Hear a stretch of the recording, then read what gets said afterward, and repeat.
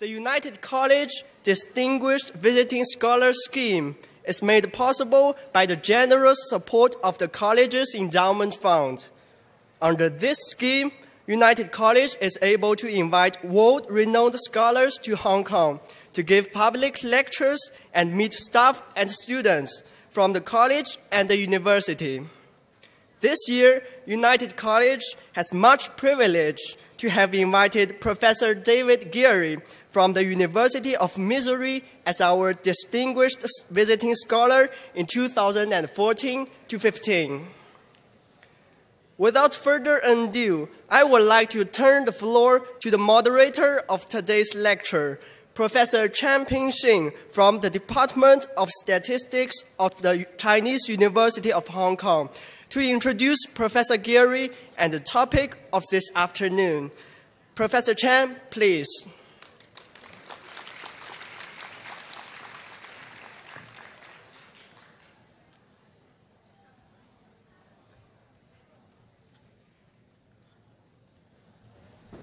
Hey, good afternoon, everyone. Uh, it's my honor to introduce you to today's speaker, Professor Gary.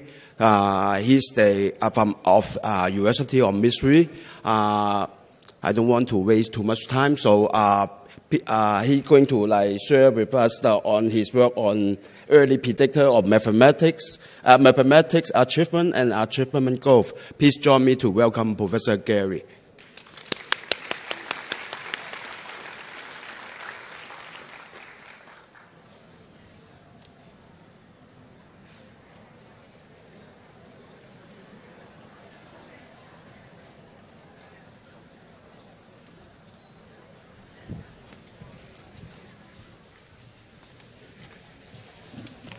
All right, thank you.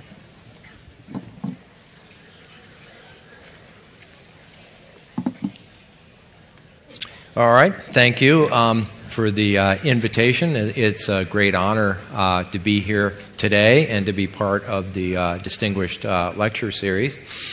Um, as was stated, I'm going to talk a little bit about um, the development of mathematical competencies in kids and the predictors of these. Uh, these are grants funded by the U.S. Uh, National Institutes of Health and the U.S. National Science Foundation.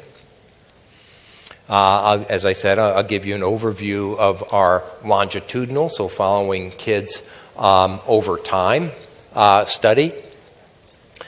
I'm going to illustrate um, some of our findings by um, showing you how we've identified the first grade numerical knowledge that predicts um, performance on measures of functional numeracy, uh, which I'll define here in a bit, um, in seventh grade.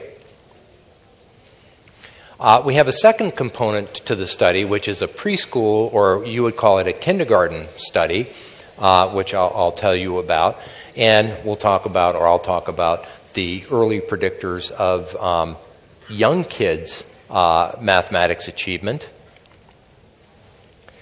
And then I want to talk a little bit about, go at a little kind of more basic level, and talk about how inherent or evolved or biological number systems contribute to children's learning of symbolic mathematical knowledge. So, evolved systems would be human universals, and the symbolic knowledge would be knowledge that is um, school taught. So, you only acquire it if you uh, go to school. Our ultimate goal with these studies is to identify the preschool or the K1 predictors of mathematical competence in high school, uh, in high school algebra uh, in particular.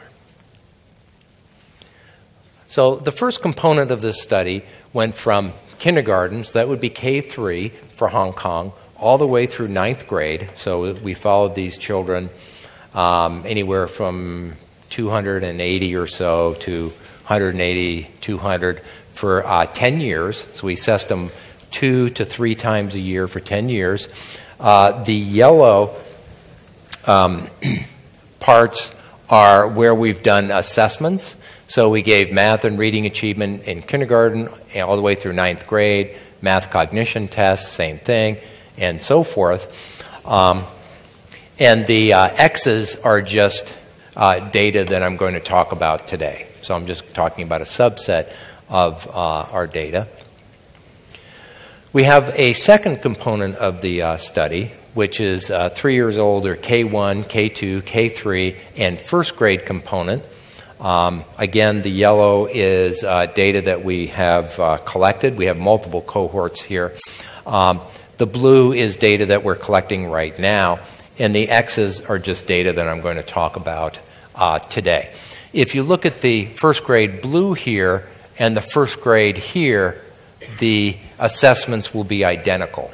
So when we get this data, we will see what predicts performance here, and then by knowing what predicts performance here, we'll be able to look at what predicts performance all the way out through ninth grade by overlapping uh, the two studies. My um, focus today will be on 180 kids who took our functional numeracy test, and, and, and again, I'll define that here in a minute, in seventh grade, so in the middle of seventh grade, and they had near complete data on the rest of the um, tasks that I'm going to talk about. Uh, the sample was pretty average in terms of IQ, uh, math achievement at the beginning of the study and at the end of the study. About half were girls, about three quarters were white. Um, they started the study when they were six years old, so K3. Uh, and this assessment was um, in seventh grade, although we have data on them all the way through the end, end of ninth grade, but I actually haven't had a chance to uh, analyze that data yet.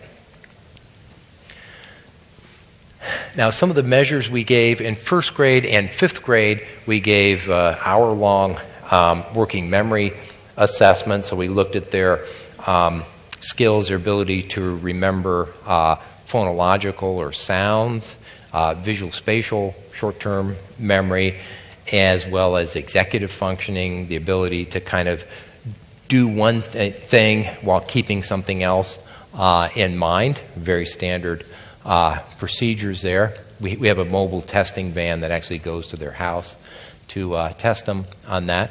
Rapid autom- automatic naming, so how quickly you can enunciate number words and letters. It actually predicts some early skills. Um, we gave two intelligence measures a nonverbal test in kindergarten, the Ravens, progressive matrices, if you're familiar with these, and then a standardized Wechsler uh, measure. Uh, in second, third, and fourth grade, we asked all of their teachers to rate their in class behavior, their attention, their organization, and so forth um, in, in their classrooms. And then we gave a variety of uh, math tasks depending on the grade they're in. Uh, so early on, we focused on number and counting. Uh, as they got older, we moved to fractions, and then in ninth grade, we gave it a number of uh, tasks looking at um, algebraic cognition and algebraic skills, but I'm not going to talk about the latter ones uh, today. And then the, num- the numeracy tests I'm going to talk about are paper and pencil tests of word problems and other types of problems that I'll elaborate uh, in a second. But turning first to the uh, number tasks, uh, the first task um, is we call this the number of sets test, and we developed this test ourselves uh, for this particular study and just to get an idea of how kids are able to associate numerals with the quantities they represent, either collections of objects here or collections of other numerals. And we also have uh, measures that would be like uh, two things here in the Arabic numeral one, so they would circle this. They just get like a minute to go through it, and they just circle the threes, skip over that, skip over that, circle that, circle that. Um, and it just kind of gives us uh, an estimate of how good they are at representing magnitudes with actual nu- numerals and, and putting uh, those uh, together. We, we, use a certain type of statistical technique to kind of get uh, an estimate of how good they are at that. Um, anybody learning mathematics has to understand uh, the mathematical number line of course. And so one of the other tasks we gave was uh, uh, a number line task, and we, we just had them, gave them a number, and they placed where it would go on the number line. Then we just looked how accurate uh, they were uh, with that.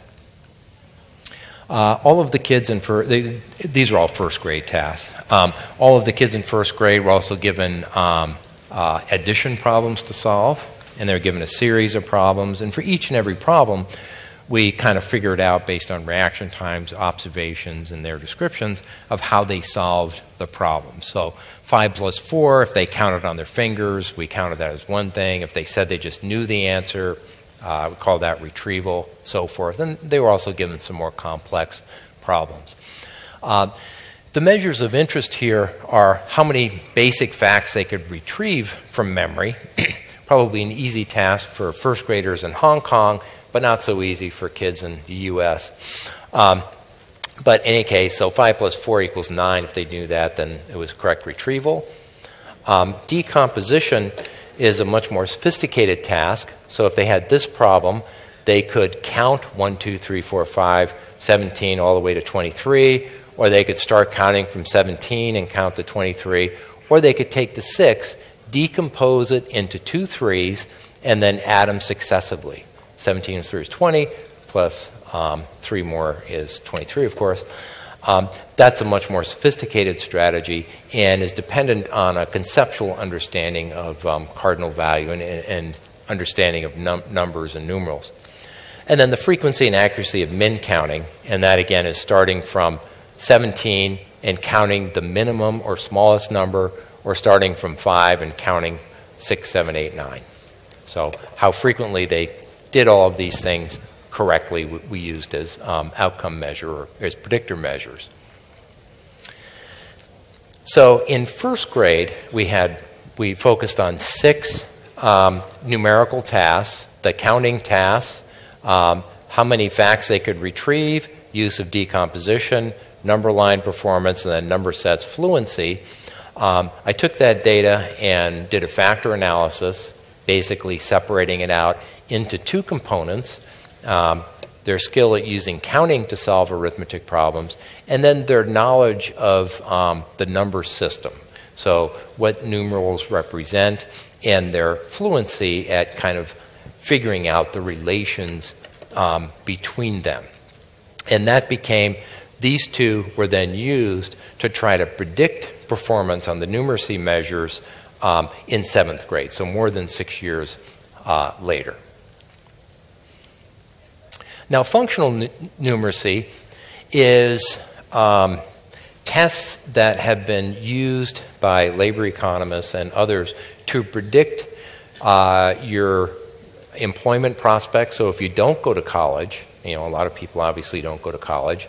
College mathematics is one thing, and then general mathematics for people who don't go to college is something else. And that something else you can call functional numeracy. So, what I was interested in here was um, kids or adolescents' development of these job relevant uh, mathematical skills and what would predict those early on uh, in their career.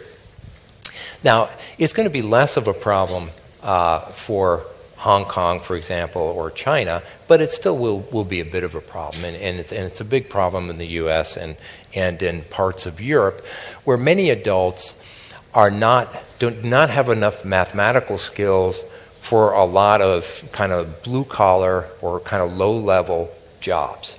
So the economy is changing such that lower level jobs require more and more math knowledge than it did previously, and understanding things like interest, if you're going to buy a car on, on payments or invest money in a bank account, how much uh, that will uh, accrue over time, so forth. Um, you need a certain amount of uh, mathematical skills.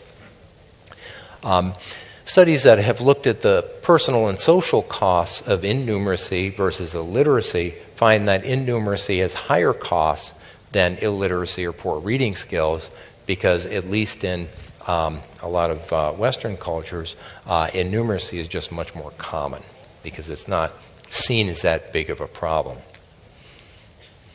So I reviewed um, labor economic studies of math predictors of employability, wages, on-the-job productivity, the ability to um, uh, go into on-the-job training programs to move up into management or whatever Um, and the studies are very consistent in what it takes to um, do well in these non college related uh, skills, uh, jobs. Um, and, and, and basically, if you can solve multi step word problems, so it involves translating two parts of the, of the word problem into two equations um, that require computational whole number and fraction arithmetic, simple algebra, a little bit of geometry and uh, measurement. Uh, you know, if you do okay on those, you're probably going to do okay in a lot of these blue collar uh, positions. But not everybody um, masters these skills. So, just uh, real quickly, uh, some of the numeracy measures we use from the Educational Testing Service. If you're, if you're familiar with the SAT or the GRE or the Graduate Management Exam and so forth, um, they also uh, produce uh, other types of tests, and we use those for to assess our word problems, computational whole number arithmetic so, how many problems can you solve uh, of the, this type correctly in one minute? That's just kind of how fluent you are um, in that. Similar type of thing uh, based only on fractions, though. Uh, and then finally, uh, we developed another test, uh, which we call the fractions comparison test, based on how kids um, solve fractions problems and the, the types of errors they make when they solve those problems.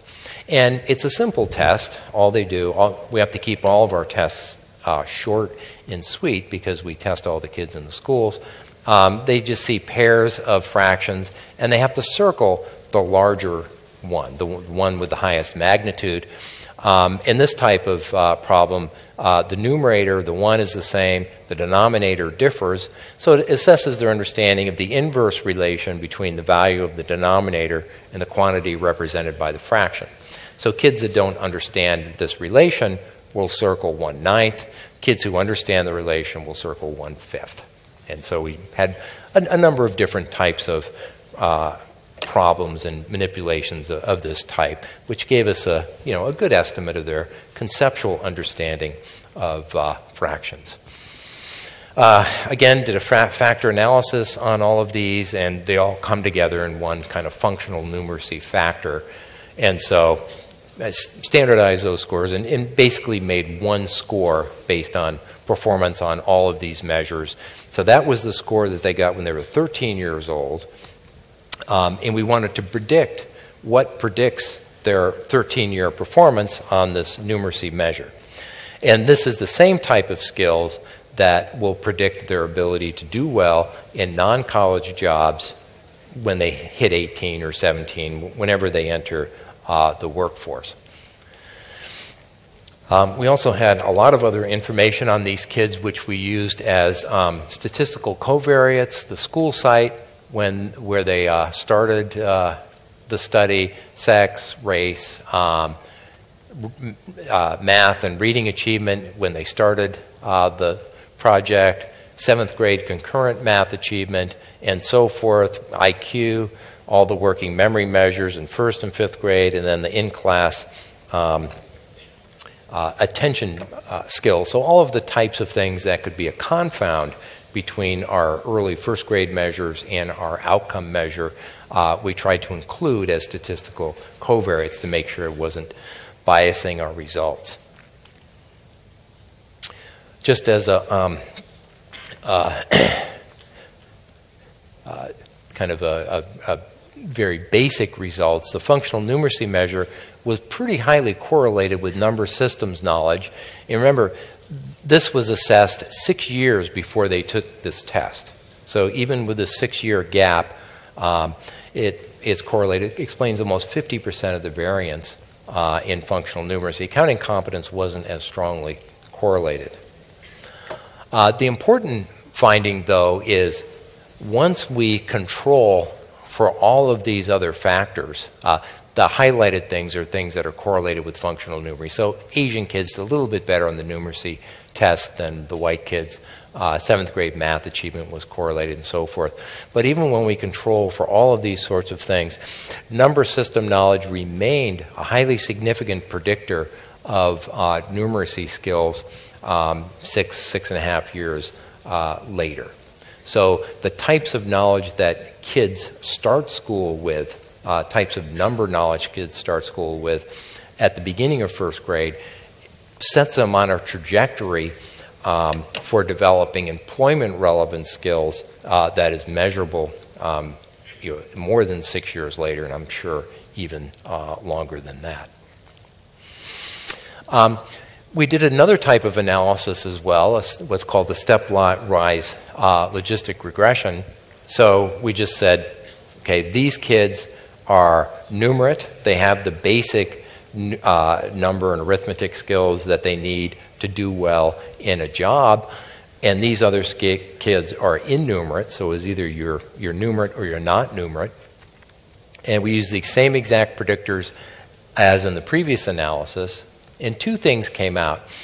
Um, basically, what this means is that for the number system knowledge, if you start first grade and a standard deviation below average, or say at the 15th to 20th percentile, around there in the bottom uh, part uh, of first graders, then the likelihood that you're going to be innumerate in, uh, as an adolescent is four times higher than uh, kids that are just average in uh, number knowledge.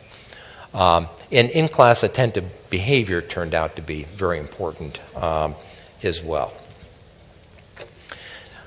Now, it turns out that number system knowledge is actually malleable or changeable. So, what I'm showing you here on the x axis is the maximum kind of the percentage. So, if you got 100% on all of the tests we gave, um, then it would be at 100, and, and none, none, of the kids did that well. Um, and that this is how far they are from uh, the maximum or, or, their percentage overall score in first through fifth grade. The high numeracy kids are the kids in the top quartile in seventh grade performance. The middle, uh, the average are the um, uh, second and third quartiles, and the low numeracy is the bottom quartile. So the, the kids that are really at risk for long term uh, problems in adulthood we can see here that um, you know the low numeracy kids, of course, start low, um, and the gap widens during the first year of primary school. But from second grade to fifth grade, the rate of improvement is actually the same as the other groups. So basically, what that means is that the early number knowledge deficits of these kids are there at the beginning of first grade and increase over the course of the first year of schooling, but they're fine after that. But, but they never make up that, they never make up this deficit. Meaning that if you're going to intervene, you really have to intervene either before this or during first grade. Otherwise, uh, there's very likely to be long term uh, problems. So the next question is okay, we know you start first grade um, with some number deficits. If you start with number deficits, that predicts long term problems. That means we have to go earlier than first grade to understand where those early deficits came from. And that's where this second uh, K1 to uh, first grade uh, study um, comes in.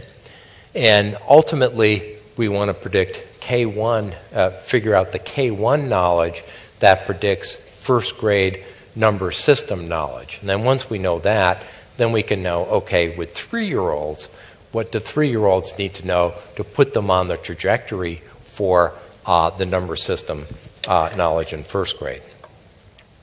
But we, I don't have that data yet. We're still collecting it. But I can talk about some other aspects of that study that are um, interesting and important. Um, in the first question we addressed with, with that study is the relation between the inherent approximate number system, which I'll, I'll talk about here in just a second, and mathematics achievement, and whether that is mediated by kids' early learning of symbolic knowledge or their early learning of numerals and number words.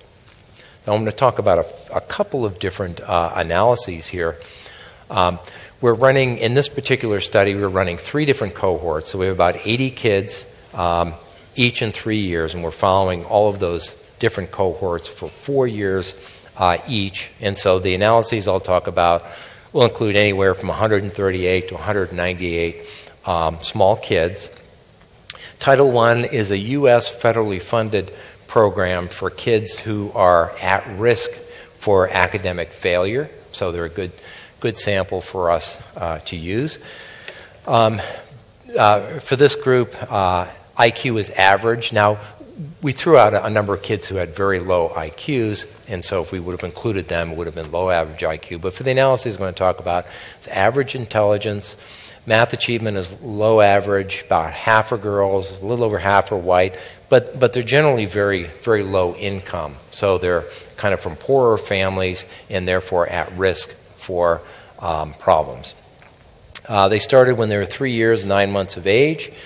We assessed them six times a year for the first two years, three times uh, in kindergarten, K3, and then uh, a couple times in first grade, which we're currently doing uh, now.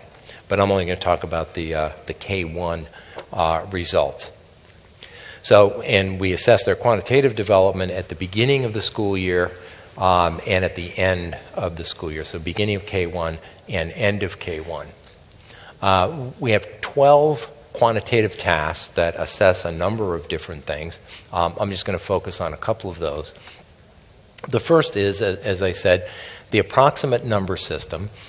So, this is an evolved system. It's a biologically based system that's evident in um, every species that I'm aware of that has been studied. It's evident in infants, even in the first day of life, infants have a sensitivity to the relative quantities of um, collections of objects. So if we presented this for two seconds to a third uh, to a three or four year old and asked them are there more yellow dots or more blue dots? It's too fast for them to count. A lot of them can't count yet anyway. Um, and they could tell you there's more blue dots than yellow dots. So they have this way of determining relative magnitude, and the underlying system is represented in part of the parietal cortex, is called the approximate number system. Now, people also have the ability uh, to represent quantity using what's called the object tracking system. This is part of the visual system it involves for keeping track of where objects are. So if you're watching my hand here, and it's moving in this trajectory. It goes behind uh, the uh, laptop monitor here and then comes out here. When, once it disappears, you know it still exists, right? At least I hope it still exists, and it comes out here. You understand that. So th- there's a built in system for um, doing that, for keeping track of objects. And for young kids, the limits of the system are three items. So some people have proposed that um, young kids and even infants can use this system to quantify one, two, or three things. So we have two potential systems involved in the early learning of relative uh, or exact uh, magnitude. So we have measures of both the ANS and the OTS in this study. We also have a number of measures of um, symbolic knowledge, numeral identification, so you see the Arabic numeral 1 or 2 or 3 or whatever, do they, can they name it?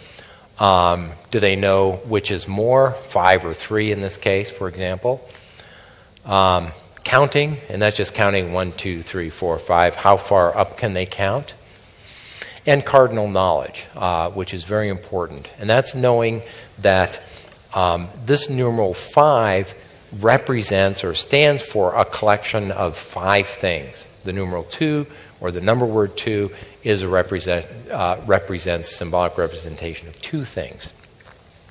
Now, of the um, all of the quantitative tasks we gave, it turns out that a combination of this four um, predict mathematics achievement at the end of preschool. So kids who know their uh, numerals, know which is bigger or smaller, and um, kind of understand cardinal knowledge do well um, by the end of their first year of uh, preschool. The question here is does, our first question is, does this inherent or biological approximate number system um, contribute to kids' early learning of symbolic um, mathematics? So, do we have a built in kind of uh, foothold that allows kids to begin to learn uh, formal, culturally specific mathematics? Um, so, to test this, um, I took a composite of the ANS, just their accuracy on the task, and then a mathematical function called the Weber fraction, which kind of just gives a, a, different way of estimating how sensitive kids are to relative differences. So some kids can tell the difference between five things and six things presented very quickly together. They'll know that six is more. Other kids, the difference has to be like three and six. So it has to be much bigger for them to tell. And the Weber fraction gives you a, an estimate of how sensitive they are uh, use a certain type of statistical technique to look at basically uh, changes uh, in performance on the symbolic tasks as related to ANS. So, so the question is are kids who are very sensitive to um, differences in collections of items as assessed by the approximate number system, do these kids learn number words, numerals, cardinal value, and other things more quickly across the school year, so from the, from the beginning of the school year to the end of the school year when we gave these tasks, do they learn them more quickly than do other kids? Um, and it turns out they do. So this is a, a kind of a busy slide. The, the, the only thing uh, that's important here uh, is down here. So again, we had a lot of um, uh, covariates, time one and time two. So we looked at changes in verbal counting.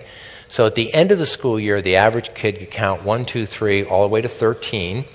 The beginning of the year, they could count to 13 minus 2.8, so they can count to about 10 or so, 1 to 10. Uh, and we controlled for age, boys versus girls, parental education, intelligence, executive control, letter identification. But what's important here is that kids who had a good ANS, that is, they were very sensitive to relative magnitude, uh, learned to count more quickly than other kids. They learned uh, their numerals more quickly than other kids. They learned the differences between numerals, three and five, more quickly than other kids. And they learned cardinal value of numerals and number words more quickly than other kids. So, this biological system that's evident at birth seems to contribute to kids how easy it is for kids to begin to learn formal uh, mathematical uh, knowledge, formal mathematical symbols. now, a number of people have been saying that, well, the ANS becomes very important kind of foundation for mathematics achievement. And they found this relation. The better the ANS, the better people um, adults and kids and other folks do on a variety of mathematics tasks. Um, and we found, we found the same thing. It basically, it's, it's, highly significant. The more uh, sensitive this is, the better you do on math tests. But we also wondered if, well, maybe the contribution of the ANS is really uh, indirect. That is, it is more dependent on early symbolic learning than on the ANS directly. So, what this shows is the ANS uh, influences your learning of verbal counting, cardinal knowledge, and so forth, everything that I just showed you. This is a different way of analyzing it, just repeats it, of course. And then this shows that verbal counting, cardinal knowledge, numeral recognition, all of this contribute to mathematics achievement. It turns out that cardinal knowledge is especially important. And once we control for this early symbolic knowledge, this relation between the ANS and math achievement is no longer significant. Basically, what that means is that this early inherent system for representing quantity influences kids' early acquisition of basic symbols and particularly important cardinal knowledge, as we'll talk about, But once they understand that, the ANS is no longer important. So once you get into the symbols and the meaning of mathematical symbols, it's a different system than uh, this inherent system. Something else takes over um, and contributes to math learning. Uh, this next slide is just essentially showing the same thing, but using the Weber fraction rather than percent correct, so we don't need to worry about that. It, it basically just replicates the um, effect. now, it turns out that um, some other analyses indicate that understanding the cardinal meaning of number words, understanding that a three, and I'm, I'm sure it works for Arabic numerals as well, understanding not only you know, learning the number words one, two, three, four, five, or recognizing the numerals, but what's really important is understanding what they mean, the quantities they represent. Seems like a very, very simple thing for us, but it turns out that only people can do it. So there's been a lot of studies of, uh, of primates, uh, chimpanzees, for example, and you can teach them to represent that an Arabic numeral one stands for one thing, an Arabic numeral two stands for two things, three, three things, and so forth. But you have to give them thousands of trials for them to learn that. And you have to teach them every number um, independently.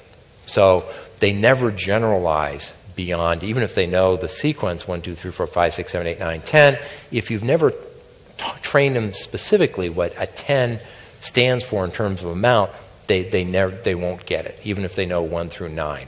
But kids, once they learn 1, 2, 3, they learn 1, 2, and 3 pretty much the same way that chimpanzees do. Um, but once they get to 4 or so, they have this conceptual insight. And then they really understand cardinal knowledge, uh, the cardinal value. It turns out this one measure explains 50% of the math achievement at the end of the first year of preschool. So it's, it's of everything we've talked about is the most critical.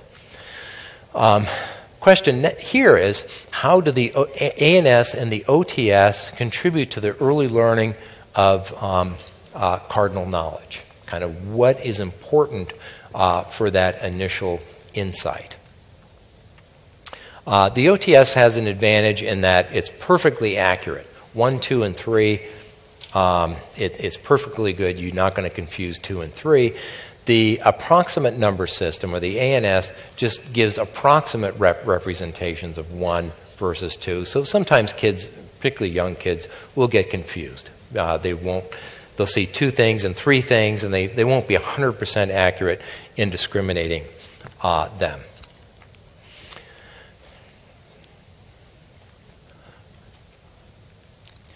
So, in um, a study we have uh, uh, under review right now, um, we looked at um, a number of different theories on, on this, whether early learning of cardinal knowledge is only related to the um, approximate number system, in which case performance on the ANS task should correlate with performance on the cardinal knowledge task, the beginning of school, at the end of school, and whether they CP knowers, whether they've made this conceptual insight and generalization um, uh, for all of the number words they know, or it could be only the OTS is important, or it could be that um, both contribute, the ANS and the OTS contribute.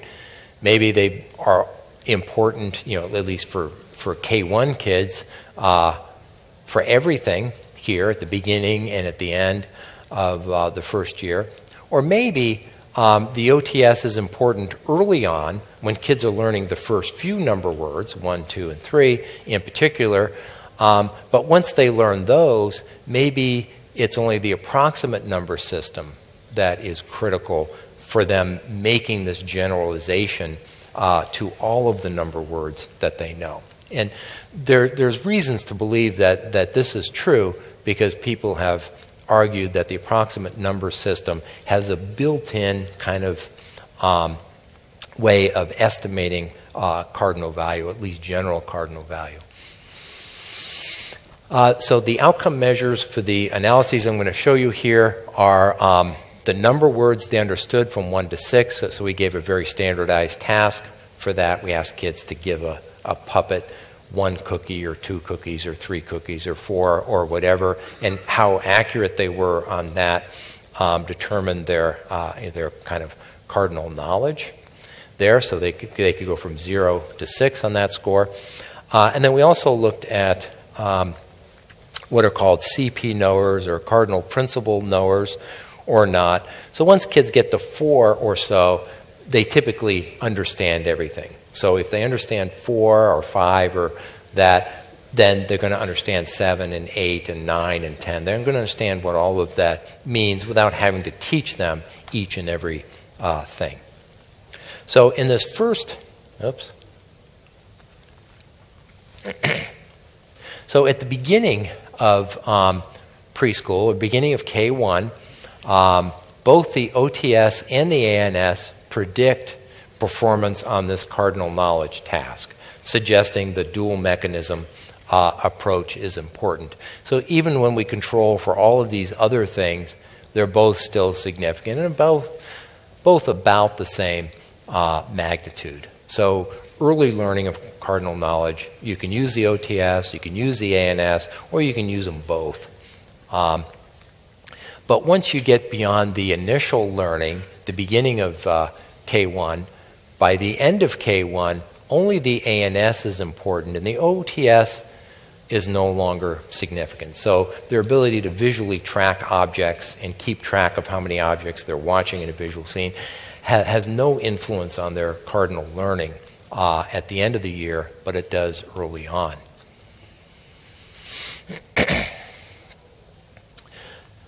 now we had a number of we had a, this is a study where we had 198 kids um, in it, and so some of the kids at time one uh, didn't understand the cardinal principle, so they were kind of uh, non-knowers um, but some of those kids shifted from non knowers, non understanding card cardinality symbolically, to understanding it symbolically. So they shifted over time.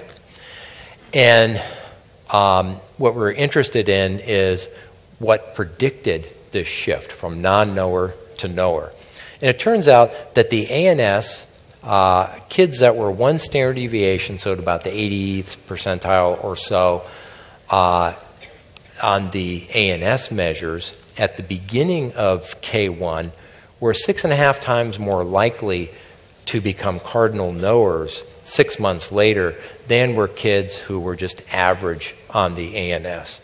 And uh, the OTS in this analysis was not uh, significant. So the ANS um, really seems to be uh, important for the uh, early development of uh, cardinal knowledge. Am I doing okay on time? Um, but but and, and the, the, OTS is important very very early on, uh, but then it drops out in significance. All right, one last result is once kids, I, I, said previously that once you begin to understand mathematical symbols, then the ANS drops out.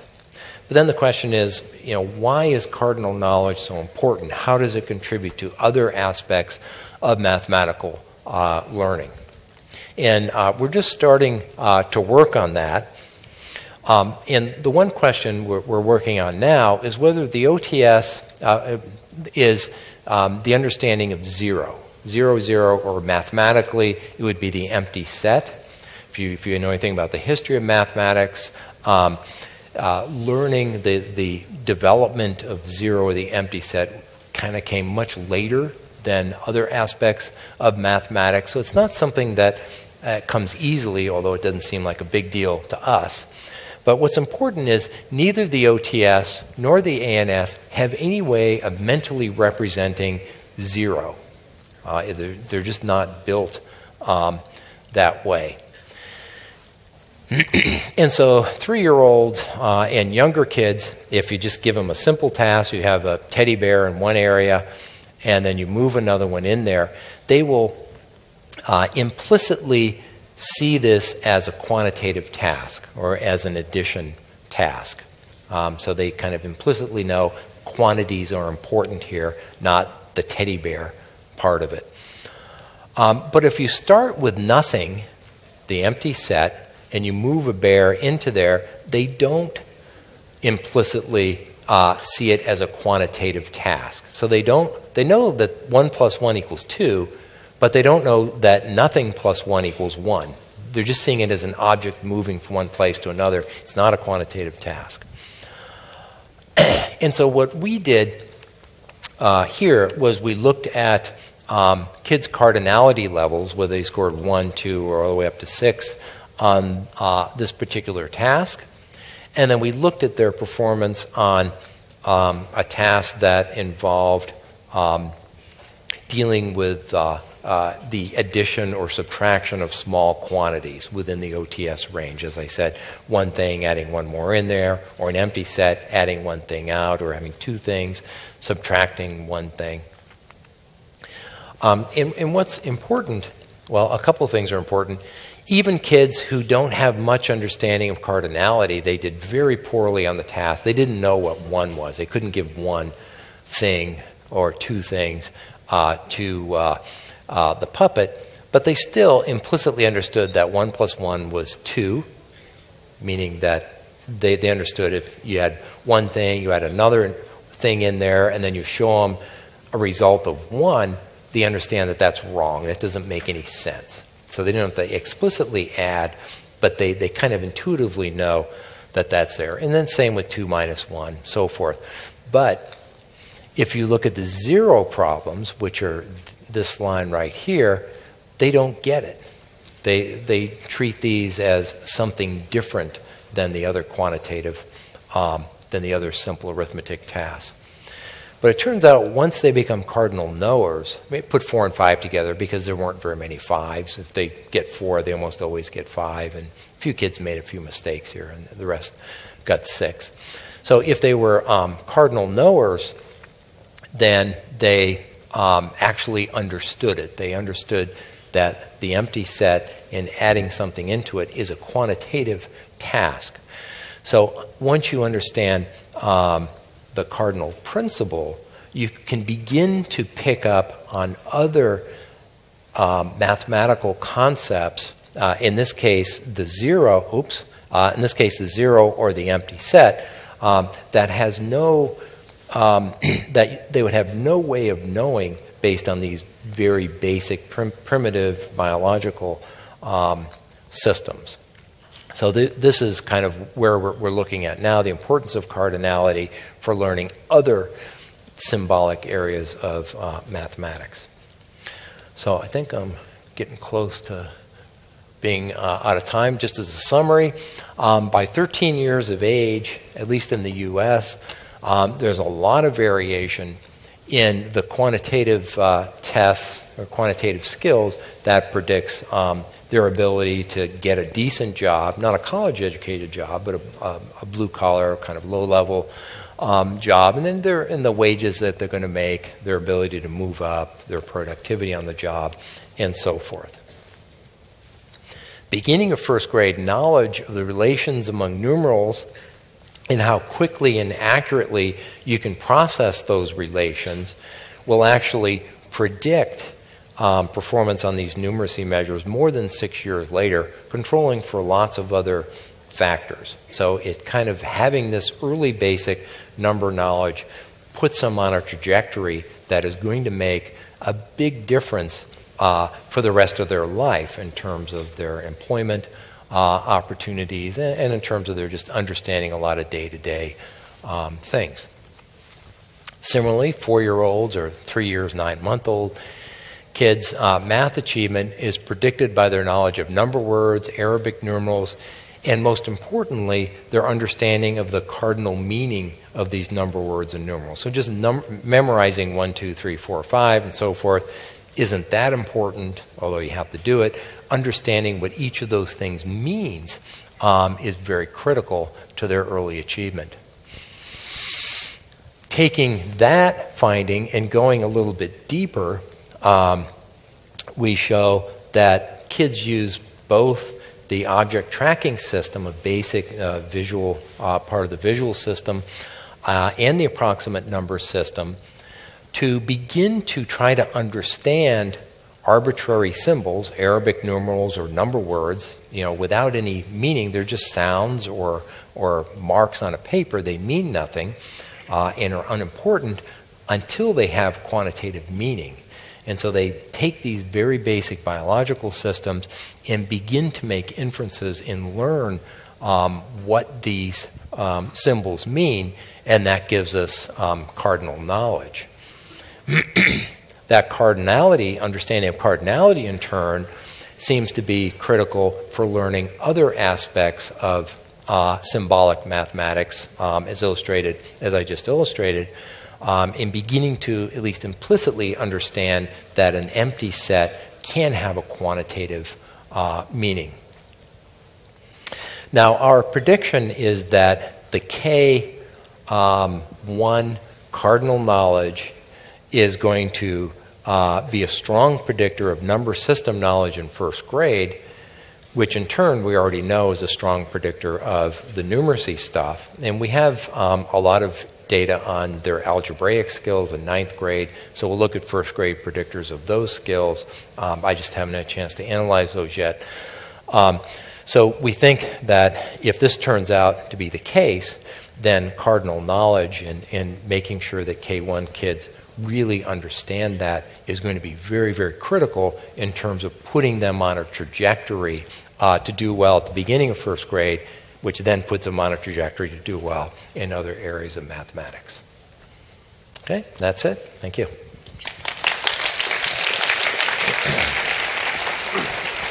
Thank you, Professor Geary, for the interesting and enlightening talk. Please be seated on the stage.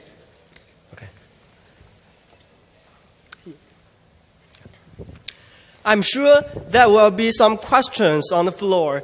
May I now call upon Professor Chan, moderator of today's lecture, to come up to the stage and host the question and answer section for us. Professor Chan, please.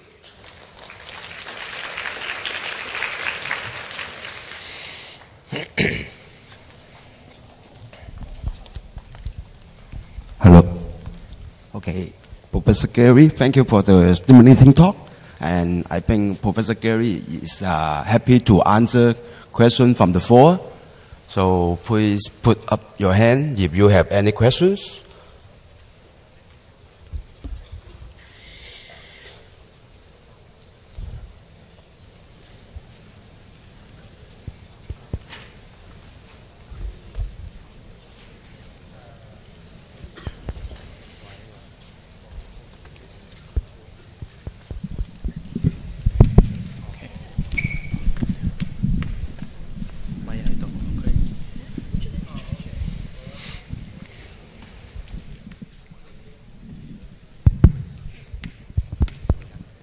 Uh, thank you. Uh, uh, I've read somewhere that it has been suggested the, uh, that we intrinsically have a more uh, logarithmic perception of the world in terms of uh, mathematics than numerical. So I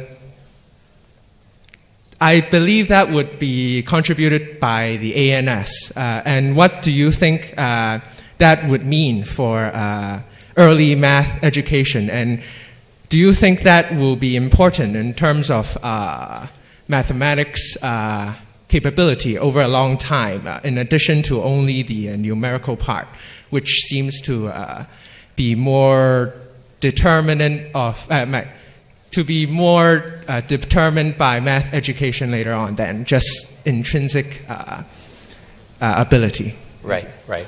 That, that's a great question. So, um, there's a lot of research, uh, brain imaging research, and research with other um, species and stuff, looking at the basic physiological and neurological properties of the approximate number system. And we know where it's at in the brain, and we know a bit about how it functions. And so, some aspects of the functioning of this system can be explained by logarithmic models rather than kind of a linear type of model. There, there's a lot of debate about how that works. But, but that's a little bit different than saying we understand mathematics logarithmically. It's more about the properties of this the way this part of the brain works and the way a lot of the parts of the brain work. Um, but the operation of those, even though we can represent it logarithmic, logarithmically, um, gives us just this number sense, which is more, the five blue ones or the six um, yellow ones. Um, and, and, and, so it's very different than understanding uh, mathematical uh, logarithms, which are very difficult for, for people to understand. But what, what our re- research suggests is that whatever is underlying how the ANS operates, um, it is only important for kids' early symbolic learning.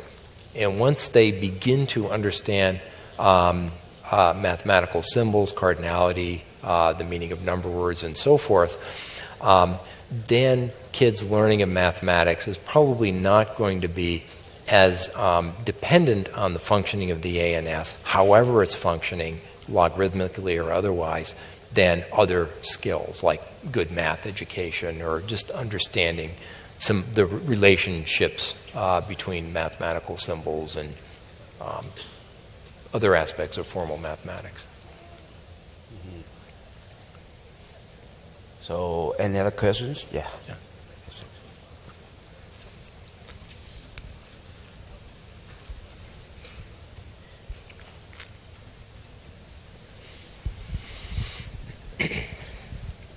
Hello. I, I'm wondering if you can uh, comment on the uh, uh the finding that uh, Asian children, uh, Chinese mm-hmm. Asians, outperform Western children um, mm-hmm. on all the tests like PISA. And I think you also did some mm-hmm. research on the cross-cultural comparison. Right. So, I, so my question is, so so that is at least in the in the last many years, that mm-hmm. seems to be a, a fact, then mm-hmm. and how do you explain this difference? Does the difference come early on in the ANS uh, stage of mm-hmm. the numeracy kind of uh, uh, competence, or more this you can call innate evolution related, mm-hmm. uh, you know, right. differences, or mm-hmm. is it because of uh, later schooling mm-hmm. that uh, the Asian classrooms that produced a better uh, mathematics achievement? Yeah, that, uh, that's a great question. So, is the East Asian advantage in mathematics, which, which um, probably all of you are familiar with, the East Asians, uh, China, Japan, uh, Korea, do very well in formal mathematics um, relative to kids in the United States and in much of Western Europe, with, with a few exceptions uh, there. So, that's formal mathematics. Is that due to instructional sorts of things, or is there an ANS difference? Um, probably, I, I, think it's mostly due to instructional sorts of things. So in the 1990s, um, I actually collaborated with um, a psychologist from um, the Chinese Academy of Sciences doing some work, uh, you know, cross-national work on basic arithmetic skills and, and some of the numeracy stuff that we talked about today. One of the studies we did was cross generational.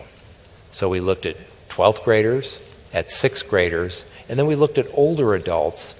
Um, and I chose the age range for the older adults in the US based on when um, it's estimated um, the mathematical education of US students was better than it is now. And what we found was in the older samples, there was no difference between Chinese adults and American adults. But as we moved to the younger groups, the Chinese sample was getting better and the American was getting worse. So it looks like um, the, the gap that we see now is probably fairly recent. Recent being over the last 50 or 60, 70 years or so. So I don't think it has anything to do with inherent differences. I think the educational system for mathematics is just much better in East Asia than in the U.S.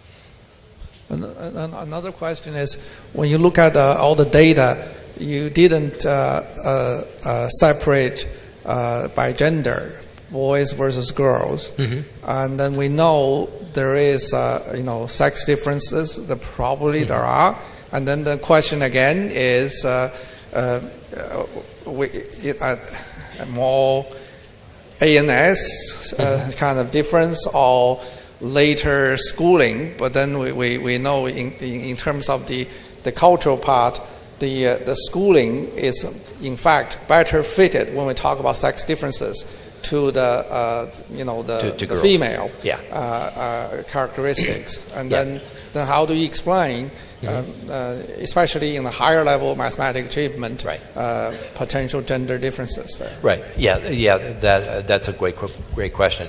There there doesn't seem to be any gender differences in the ANS. So boys and girls are the same, and, and it's a very common. Even guppies have an ANS-like system. It's a very very basic, evolutionarily old um, system. On the task that I showed you here, um, there there aren't many gender differences. Um, the one difference that we found was for the word problems. The multi step word problems, boys generally do better than girls.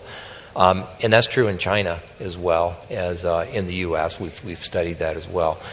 Um, and I'm pretty sure that's because boys, when you have a, mathematical sentence, you have to translate it into an equation. You got another sentence, you have to translate it into an equation, and then you got to figure out the relation between them. Boys are much more likely to diagram the relations in the words in the in the word problem than are girls. And if you diagram those relations, you're much less likely to make translation errors or make uh, make mistakes in trying to figure out the relation between them. So I think the difference there has to do with visual spatial abilities, not the ANS. Um, Okay. Hi, um, I'm a fourth year math student, and I have a question about uh, that. Earlier, you mentioned that humans' uh, unique capability, and when compared to other primates, to understand cardinality. Right. And, and you compare to that, uh, you said that chimpanzees can only understand cardinality by teaching the numbers one by one. Um, can you explain this more specifically? Right. So, uh, so say you have a three-year-old. They'll first learn the count words one, two, three, four, five, six, seven, so forth. Mm-hmm. But they have no meaning. It's just a memorized sequence of words. But they'll remember that first.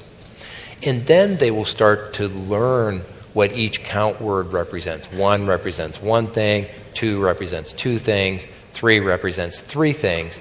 And for the each of the one, two, three, maybe even four, they have to learn each of those separately, you know, as if they're independent things. But then once they get to around four or so, they have the insight saying that, okay, Five is next in my list. One, two, three, four, five. So five is one more than four. And six is one more than five. And seven is one more than, than six. And so they have that insight. You don't have to teach them five means five things, or six is six things, or seven is seven things. Once they get the concept, they generalize the other words. But for chimpanzee, you have to teach them five, thousands and thousands of trials, and then thousands of more trials to do six. And even if they know the numerals, one, if, even if they know the next numeral is seven, they don't know, they don't have the insight that it's just one more than six that they already know. You have to teach them seven, thousands and thousands of trials. So it, it's a very um, uh, pretty amazing insight that, that these little kids have, given what our closest relatives um, can't do. Okay, thanks. Okay. Okay. Any other questions?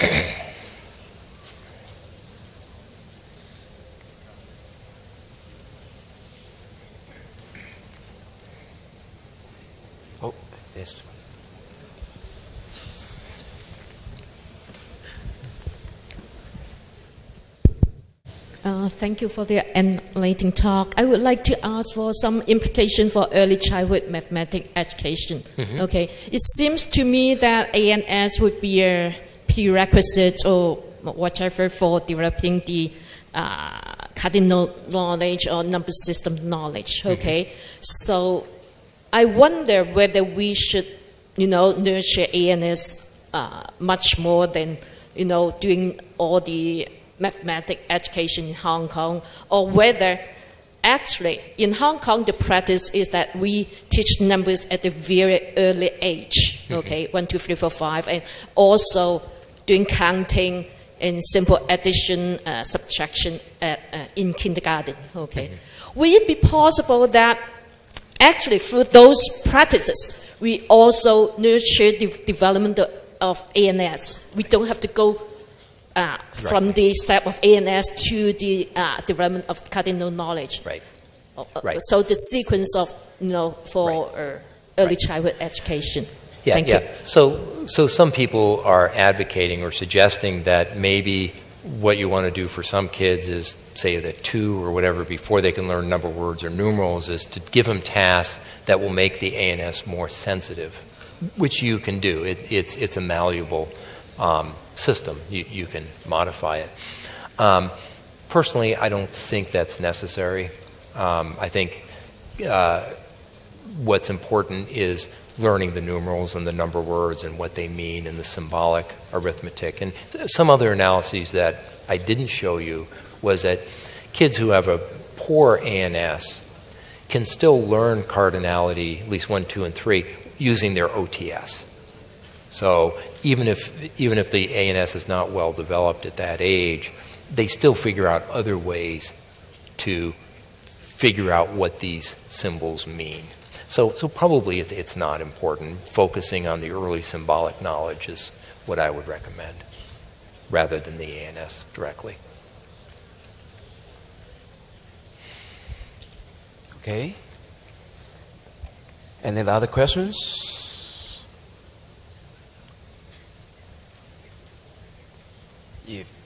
There's no more question, then we might conclude the Q&A section. Thank you, Professor Geary and Professor Chen again. To express the college's appreciation, we have prepared souvenirs for both the speaker and the moderator. May I call upon Bali Mark, Bali Mac, College Associate Head and Dean of Students, to present the souvenirs. Professor Mac, please.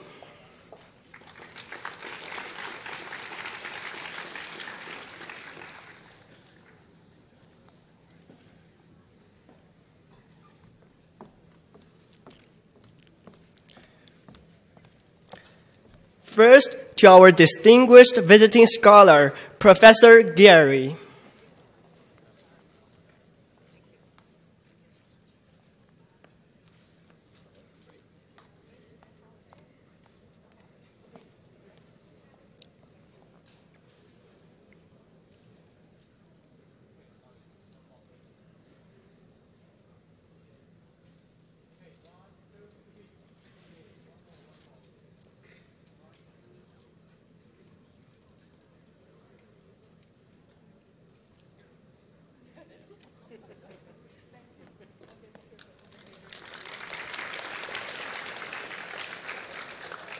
Then to Professor Champing Shing, moderator of today's lecture.